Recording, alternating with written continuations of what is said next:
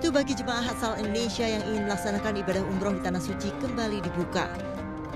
Ketua Umum Dewan Pengurus Pusat Asosiasi Muslim Penyelenggara Haji dan Umroh Republik Indonesia Ampuri, Firman M. Nur mengatakan pihaknya akan mengevaluasi kembali mitigasi yang selama ini telah disiapkan. Kegiatan mitigasi perlu dievaluasi kembali dan disinergikan dengan ketentuan yang ditetapkan Arab Saudi. Berita ini sangat menggembirakan kami sebagai pelaku, pelaku usaha dan juga para jamaah yang telah menunggu untuk kembali berangkat ke tanah suci menunaikan ibadah umrah. Yang sudah hampir dua tahun kita tidak bisa melaksanakan umrah karena pandemi ini.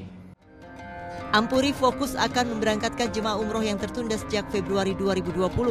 Terkait teknis keberangkatan dan pelaksanaan umroh nantinya, pengelola umroh dan haji berharap tidak akan membebani calon jemaah umroh.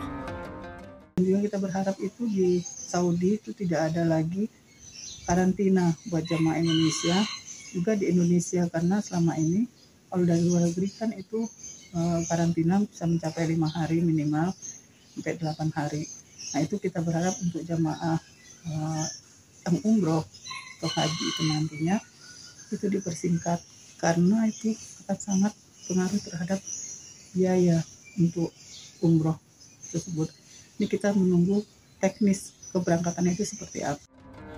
Terkait vaksinasi COVID-19, Ampuri menyebutkan ada empat merek vaksin yang diizinkan oleh Arab Saudi, yaitu Pfizer, Moderna, AstraZeneca, dan Johnson Johnson.